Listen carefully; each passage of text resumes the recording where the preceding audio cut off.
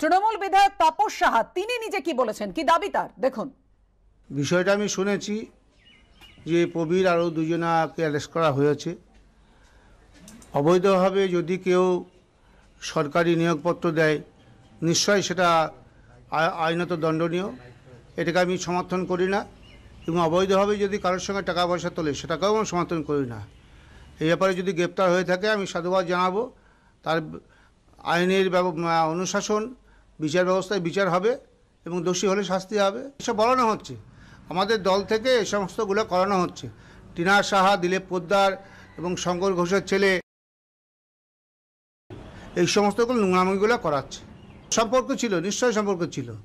আমার বাড়িতে আসা যাওয়া করতো।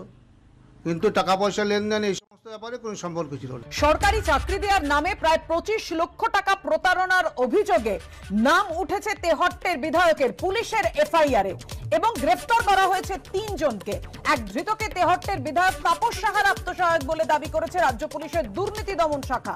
যদিও ওই ব্যক্তিকে নিজের আত্মসহায়ক বলে মানতে চাননি বিধায়ক, যেমনটা আপনাদের শুরুতেই জানালাম যে বিধায়কেরও নাম রয়েছে পুলিশের এফআইআরে অভিযোগ কখনো রেশনের ডিলারশিপ, কখনো ফুড ইন্সপেক্টর, কখনো বা প্রাথমিক শিক্ষক পদে। চাকরির টোপ দিয়ে বহু মানুষের কাছ থেকে টাকা নেওয়ার অভিযোগ ওঠে। নদিয়ার তেহট্টের বিধায়ক তাপস সাহার আত্মসহায়ক প্রবীর কয়ালের বিরুদ্ধে। পুলিশ সূত্রে খবর, অভিযোগ প্রকাশ্যে আসতেই গা ঢাকা দেন তৃণমূল বিধায়কের আত্মসহায়ক।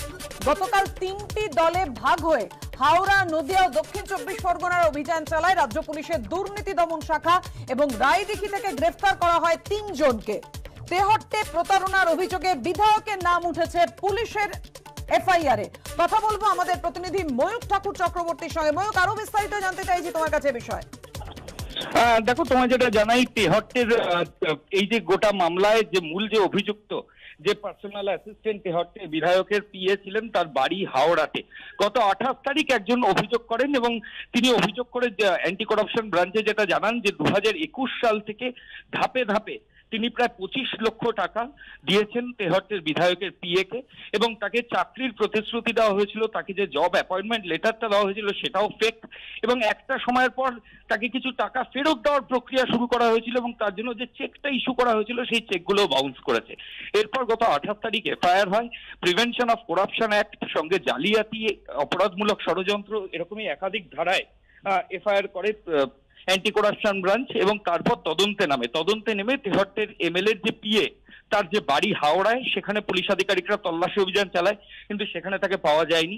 এরপরে দক্ষিণ চব্বিশ পরগনার রায়দিঘি থেকে গতকাল রাতে তেহট্টের এমএলএ প্রবীর এমএলএ যে পিএ প্রবীর কুমার কয়াল এবং সঙ্গে আরও দুজন শ্যামল কয়াল এবং সুনীল মণ্ডল, এর মধ্যে একজন আত্মীয় এবং আরেকজন ওই পিএর নেবার এদের তিনজনকে অ্যারেস্ট করা হয়। এদের কাছ থেকে বিভিন্ন ডকুমেন্ট সিজার হয়েছে সেগুলো ACP anti corruption branch investigation করছে এক্সামিন করছে এবং তাৎপর্যপূর্ণ বিষয় হলো যে এই যে প্রতারণার অভিযোগ, প্রায় পঁচিশ লক্ষ টাকার, যেটা একজন করেছেন, এরকম আরও বেশ কয়েকজন রয়েছেন বলে এসিবি সূত্রে খবর। তাতে তেহট্টের যিনি বিধায়ক রয়েছেন তাপস সাহা, তার নামও কিন্তু জড়িয়েছে। এবং সেই নাম যেটা জানা যাচ্ছে যে পিএর কাছ এগেনস্টে যে কমপ্লেনটা এসছে, সেখানে বলা হয়েছে যে আত্মসহায়ক তিনি বিভিন্ন সময় বিভিন্ন প্রভাবশালী ব্যক্তির নাম বলতেন এবং নাম বলে চাকরি প্রার্থীদের ইন্ডিউস করতেন, তাদের কাছ থেকে টাকা নিতেন। এবং এই গোটা মামলায় তিনি তো অ্যারেস্ট হয়েছেন। তার যে বিধায়ক যার আন্ডারে তিনি পিয়ে ছিলেন তার নামও কিন্তু এফআইআর এ রয়েছে। তবে এখনও পর্যন্ত অ্যান্টি করাপশন ব্রাঞ্চের তরফ থেকে বলা হচ্ছে যে তারা দশ দিনের পুলিশ হেফাজতের জন্য কোর্টে আবেদন জানিয়েছিলেন। পিসিতে নেওয়ার পর এই বিষয়গুলো দেখা হবে। ব্যাংশাল আদালতের তরফ থেকে সাত দিনের পুলিশ হেফাজতের নির্দেশ দেওয়া হয়েছে। পাপিয়া ধন্যবাদ ময়ূক